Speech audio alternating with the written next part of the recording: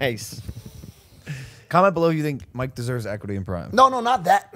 That's not what I meant. That they don't even have to comment. We Are you know are you giving out equity in 1010 Burger? Of course, both of you have equity in 1010 Burger. don't I, know it. it doesn't. How much we talking? I want it. He You, have of mine. course you can have have mine. He can I could have his. There you go.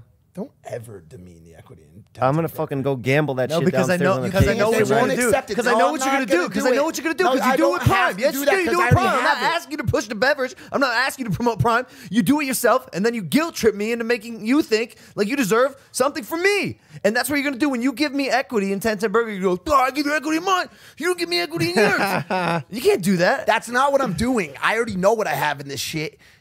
Fucking shit. It's great. It's so delicious. But what I'm saying is this.